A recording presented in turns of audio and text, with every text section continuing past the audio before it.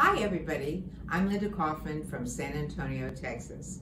If you don't know me, you can get to meet me in person at, on December 19th at 2 p.m. at the JCC right here in San Antonio. I'll be talking about my new book.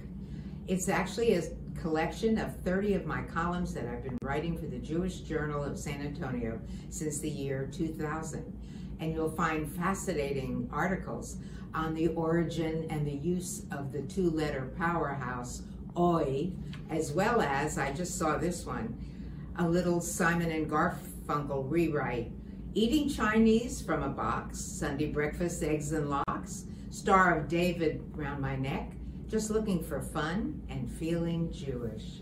That's me, the girl who sees fun and Jewish topics and humor in everything. Hope to see you again on December 19th, 2 o'clock. You can register online at the JCC website. Bye.